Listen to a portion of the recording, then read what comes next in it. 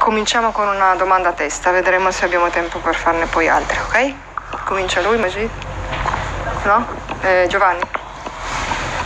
Buongiorno, Gianni Balzerini, Mediaset. Volevo sapere eh, come sta Bernardeschi, visto che suo malgrado è diventato un po' eh, l'emblema insomma, di questa mancanza di cattiveria sotto porta nella partita contro il Lecce. Bernardeschi sta bene, non, non, non, è che può essere l'emblema, ha sbagliato lui sotto porta ma non ha sbagliato altri, quindi è, è un discorso che investe la squadra, non è un discorso che investe solo Bernardeschi.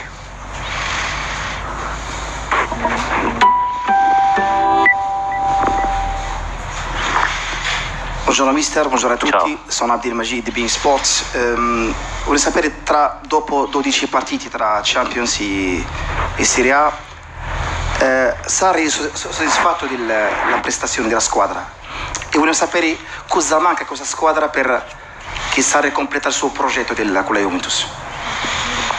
Ma la, la, la squadra sta facendo piuttosto bene si, si, è adeguata a un nuovo modo eh, di giocare, chiaramente abbiamo tante situazioni ancora da perfezionare, ma questo è, è normale.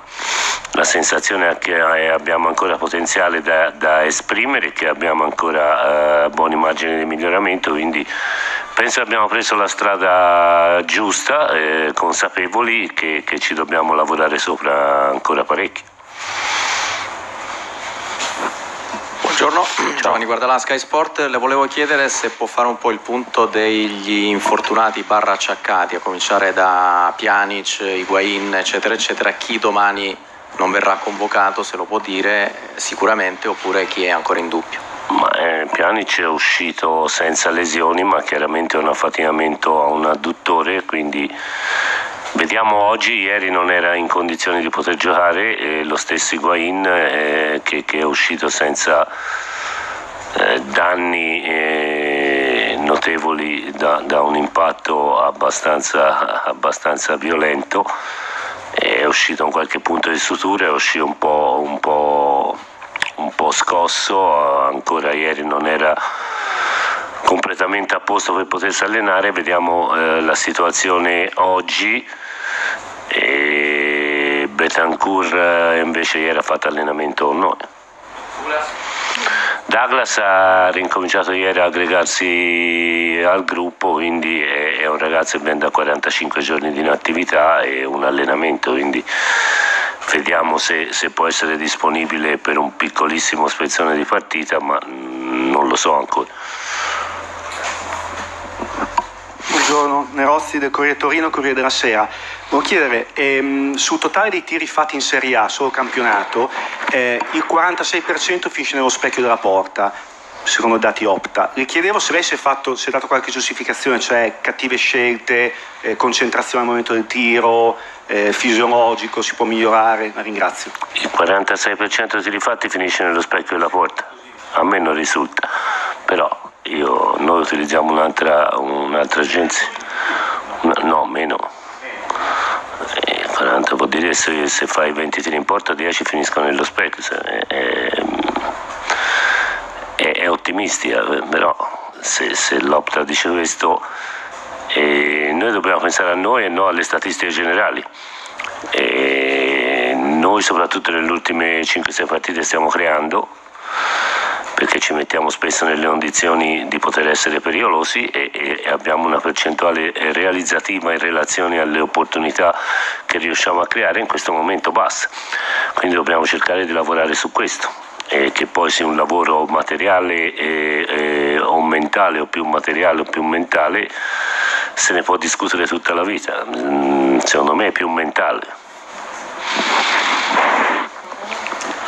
Buongiorno mister, Simone Rovera, Ramsey Sport. Volevo sapere eh, come preparerà la sfida con il Genoa, se anche lei come Corini guarderà le sfide anche dell'Under 19 del Paris Saint-Germain e che impressione si è fatto di Tiago Mutta in quel poco che ha fatto come allenatore, visto che da anni è considerato un predestinato alla panchina. Eh, che prima impressione ha avuto?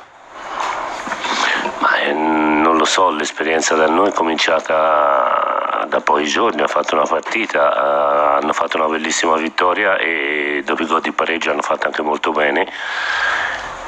è una squadra che ha una qualità tecnica sorprendente per la classifica eh, che ha.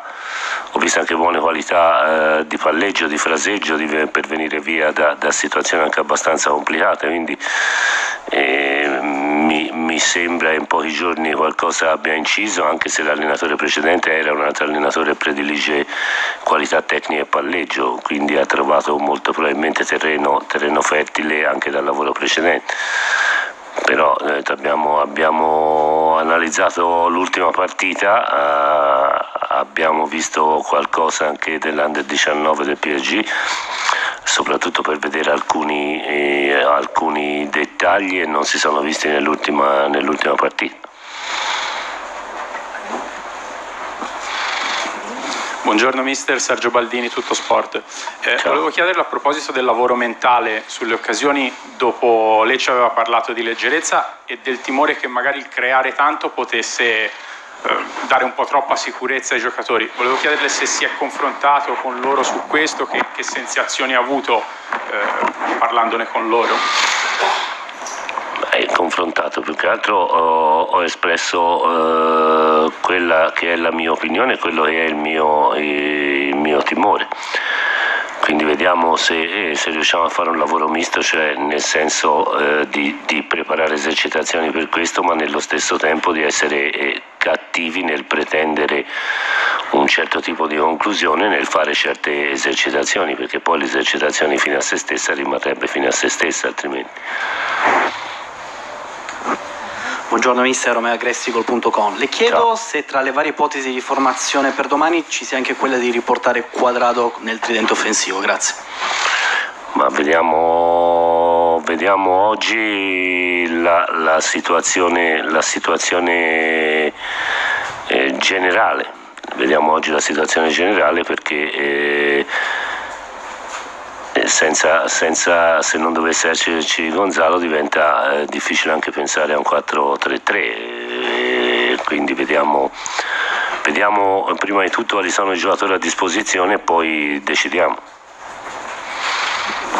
Buongiorno Codini della Stampa, buongiorno mister. Ciao.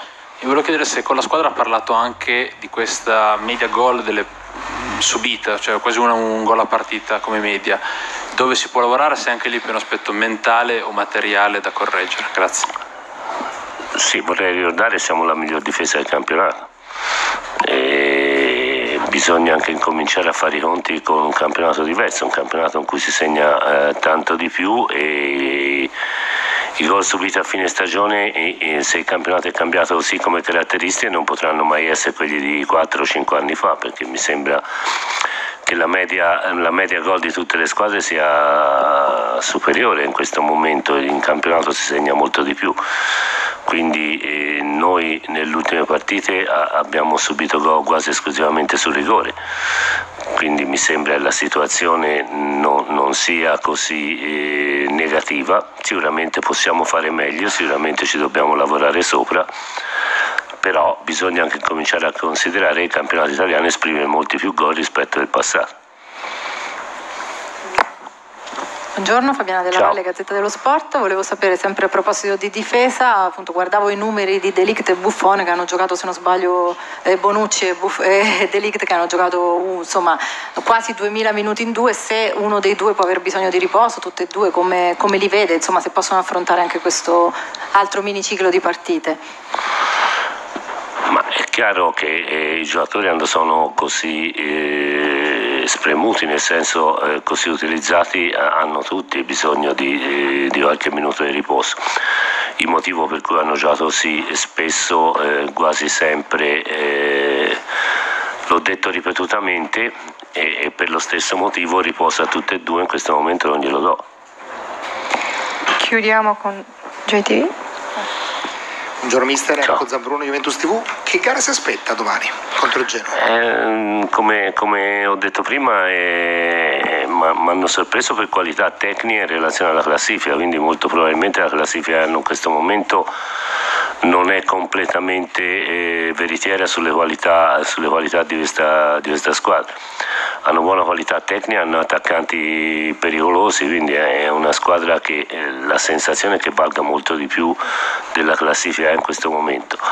Eh, È una partita difficile, ma mh, quando si gioca ogni tre giorni le partite sono tutte di grande livello di difficoltà perché la capacità di, di caricare una partita, subire i down dal punto di vista delle energie mentali e nervose e ricaricare la successiva non è, non è così, così, scontata, è vero che fa parte della mentalità di una grande squadra, però è sempre un qualcosa da non dare per scontato. Grazie a tutti, buona Ciao. giornata.